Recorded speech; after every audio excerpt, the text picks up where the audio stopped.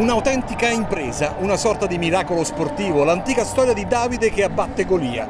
Il Brescia conquista la Coppa Italia 2024 superando ai rigori la corazzata Prorecco. Neppure la brutalità fischiata a Gitto dopo appena due minuti ha cambiato la storia della finale. O forse sì, perché i ragazzi di Sandro Bovo si sono compattati.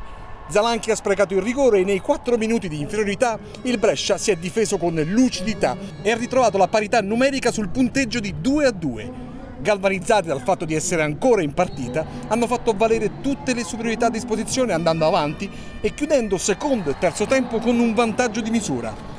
Nell'ultima frazione il Recco ha alzato i ritmi, ha pressato e rimontato portandosi addirittura sul 10-9. La rete del pareggio di Gianazza a metà quarto tempo è l'ultima rete e poi si va ai rigori, segnano tutti, proprio tutti. Poi Tesanovic blocca il tiro di Fondelli e Brescia è tutta in acqua a festeggiare la sua seconda Coppa Italia a distanza di 12 anni.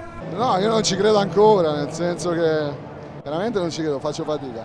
Però sono molto contento, molto contento perché abbiamo giocato veramente con un cuore, con un animo forte, non abbiamo mai mollato per tutta la partita. Quest'anno la soddisfazione è grande, sette giocatori cambiati, quattro giocatori del vivaio, battere una squadra come la Prorecco eh, era un sogno, ma non, non ci posso credere ancora.